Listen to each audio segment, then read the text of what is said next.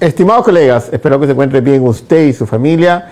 Como todos los miércoles, Ecoimagen Tips. Un agradecimiento a los médicos que habían llevado el curso de Ecoimagen Tips, donde aprendieron y eso me agradó muchísimo, donde les enseñamos muchos tips de diferentes formas para hacer la ecografía morfológica, la genética, el 4D, el 3D, el Doppler, todas las técnicas cuando tenías una paciente en una posición inadecuada del feto o la paciente era gordita. Cómo hacer para tener una buena optimización y obviamente tener una buena calidad de imagen. Muchos de los colegas se quedaron afuera, lamentablemente tuvimos un cupo limitado pero no se preocupen porque en noviembre hemos planificado de nuevo este curso que será el 18, 19, 20. Aquellos que se matriculen, obviamente, más temprano tienen el acceso a toda la plataforma de curso. Es más, no te quedes porque ya varios se han inscrito.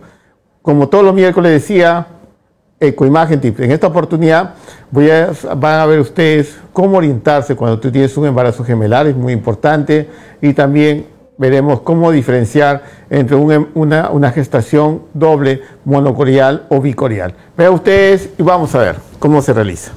Entonces vean, vean ustedes, lo primero que tenemos que ver es, primero cuando son dos fetitos, primero ver acá como ya tienen 18 o 19 semanas, primero es orientarse, primero ver cómo está la columna, cómo está uno de los fetitos está en esta posición y la, columna no va de la posición.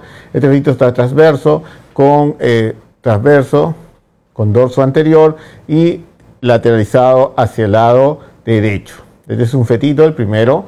El segundo, obviamente, vean ustedes también, vean ustedes su posición de este fetito, su de este fetito, que está podálico, está podálico, ¿no? Un podálico derecho, entonces es importante, la columna nos orienta para saber cómo está ubicado. ¿Cómo saber si es monogorial o bicorial? Ya, ya saben ustedes, pues primero el sexo, vamos a ver el sexo en este bebito. Lo primero que tenemos que ver qué sexo es, ¿no? Lo vemos acá y como ustedes se han dado cuenta, este bebito es, de, es un sexo, es un varoncito, ¿no? Lo ven ahí, es un varoncito, ahí está, se ve muy bien, ¿ok? Y del otro bebito, del otro fetito, vamos a ver qué pasa, ¿no? Acá tenemos el fetito, que es eh, un embarazo, y vamos a analizar el otro dedito, el otro dedito que está hacia abajo y vamos a ver también, también es varón, ¿no? También es varón, como lo ven, entonces no nos sirve saber si es monocorial o bicorial porque son del mismo sexo. Lo otro, la placenta. Entonces vamos a ver la placenta. La placenta, como ustedes se dan cuenta, hacemos un barrido de derecha a izquierda y solamente hay una sola placenta, pero también puede estar fusionada, entonces no nos orienta mucho y el otro parámetro que es importante, aunque el signo lambda y el signo T sí es muy importante, fundamentalmente en el primer trimestre.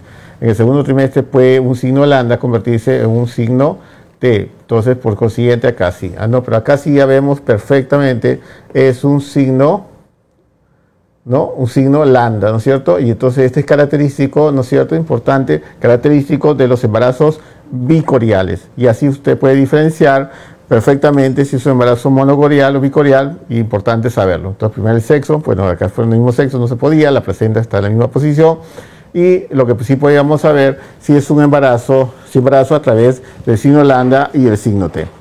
Vean ustedes, muy importante, y así nos sirve porque muchas complicaciones los tienen los embarazos monocoriales. Y es bastante sencillo, pero lo más importante es orientarse por la columna. Y como todos los miércoles seguimos Ecotips, espero que les guste este video y muchísimas gracias a todos ustedes. Chao, chao.